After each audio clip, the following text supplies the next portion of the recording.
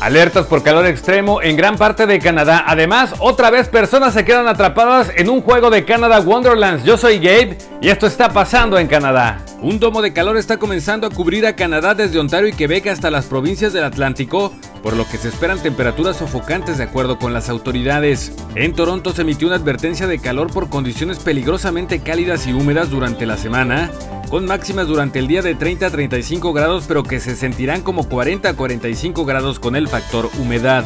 Tres personas perdieron la vida al norte de Toronto durante un intercambio de disparos en una oficina en Don Mills y York Mills, lo que provocó el cierre de una guardería y una escuela cercanas. Invierte en bienes raíces en la península de Yucatán en México. Contacta a tu casa en Mérida para conocer distintas propiedades y opciones de financiamiento desde Canadá.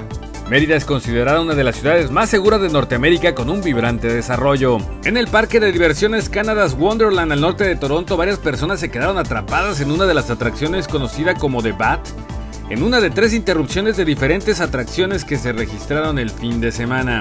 Reyes Mayorga, miembro de nuestra comunidad, nos envió este video de un fuerte accidente en Rogers y Kill, a un costado de Value Village en Toronto. Recuerda manejar con precaución.